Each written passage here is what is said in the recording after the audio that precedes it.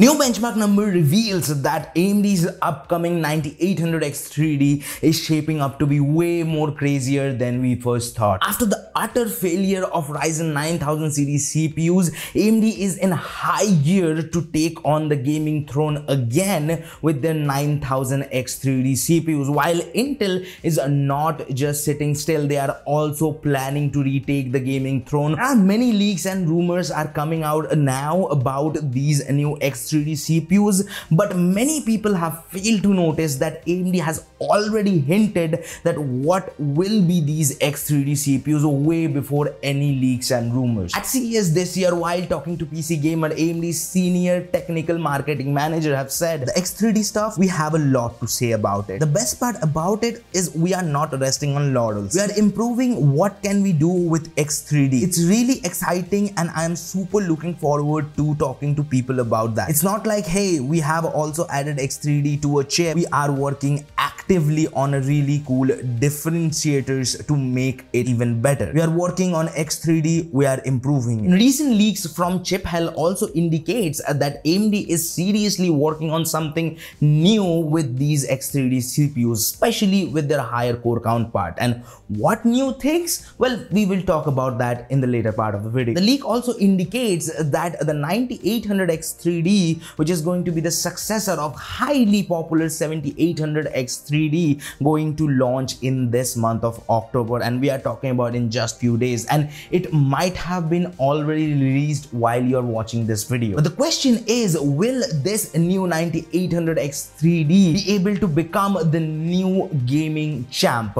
Well, Moore's Law is dead recently leaked a marketing material or a slide about this new CPU. And according to that, AMD is claiming ultimate processor for elite gaming. Now, you shouldn't trust on any marketing material until and unless those are confirmed by independent reviewers. For that, we have to wait for its launch. But as I said at the starting of the video, we have some benchmark numbers. The numbers are coming from Code Commando, who has a very short but proven track record. Earlier this year, the leaker leaked the complete marketing material and slide for Ryzen 9000 series CPUs just before its launch, which evidently were true and now we have some Cinebench benchmark numbers from the leaker. Yes, I know, X3D synthetic numbers doesn't really match up with its gaming performance. But if we compare it with its last generation numbers, then it should give us an idea of what to expect from these new CPUs. And we can expect 10% faster single core performance and 17% faster multi-core performance from Ryzen 9 9950X3D compared to 7950X3D, while the 9800X3D is going to be 20% faster in single core and 28% faster in multi-core if we compare it with current Gaming King 7800X 3D. But hey, this is the kind of performance improvement we should expect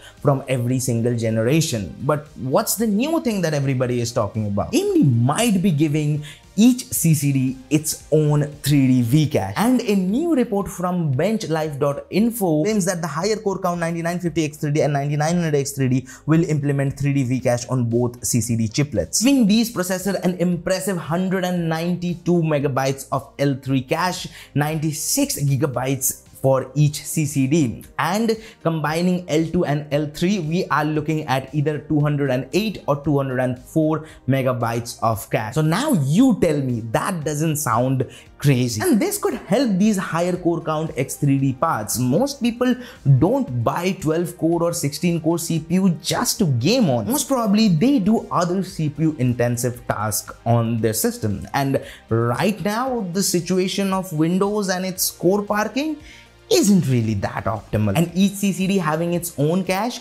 could help in that situation. Also, the report claims that AMD might be working on a lower end 6 core 9600X 3D CPU to take on Intel's i5. Recently released 7600X3D failed because it was a little slower than Intel's i5 14600K. Also, it was very exclusive and available in just few select stores. Also, earlier this year, we got some reports that these new X3D CPUs will come with full overclocking support and I'm talking about manual core clock tuning. Now, overclocking CPUs now have become just a hobby. Because overclocking CPU doesn't really improves the performance by a huge margin but who knows how these x3d cpus will react with the core clock overclocking. All in all the new 9800 x3d is coming this month of october. And the higher core count skus the 9950 x3d and 9900 x3d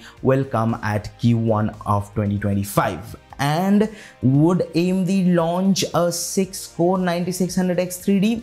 That is not confirmed. But what is confirmed is you liking my video because you watched this far. And if you didn't like it, feel free to dislike and let me know in the comment section what do you guys think about these new upcoming X3D CPUs. And if you want to watch more videos from us, check out this video right here. And if you want to subscribe, which I highly appreciate if you do that, well do it by here.